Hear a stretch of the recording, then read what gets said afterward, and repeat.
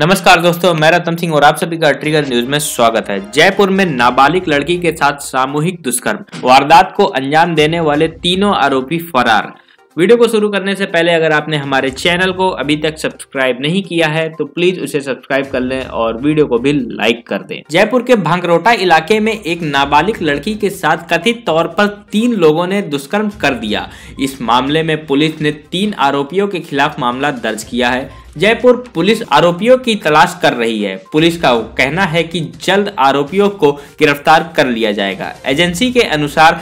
रविवार को नाबालिग लड़की के साथ सामूहिक दुष्कर्म किया गया इस मामले की शिकायत मिलने पर सोमवार को मामला दर्ज किया गया इस मामले में पुलिस ने कहा कि पीड़िता लड़की का मेडिकल परीक्षण कराया गया जिसके बाद उसका बयान दर्ज किया गया यह मामला जयपुर के भांगरोटा इलाके का है पुलिस ने कहा कि पीड़िता के पिता ने पुलिस में शिकायत दर्ज कराई इसमें तीन लोगों पर सामूहिक दुष्कर्म का मामला दर्ज किया गया आरोपियों की पहचान राहुल राजवीर और नक्स के रूप में की गई पुलिस ने कहा कि आरोपियों को पकड़ने के प्रयास जारी हैं पुलिस अधिकारियों ने बताया कि शिकायत के आधार पर तीनों आरोपियों के खिलाफ आईपीसी और पॉक्सो अधिनियम की धाराओं के तहत मामला दर्ज किया गया है आप सभी का इस पर क्या कहना है हमें कमेंट बॉक्स में जरूर बताएं अगर आपने हमारे चैनल को अभी तक सब्सक्राइब नहीं किया है तो प्लीज उसे सब्सक्राइब कर लें और वीडियो को भी लाइक कर दें तब तक के लिए जय हिंद जय भारत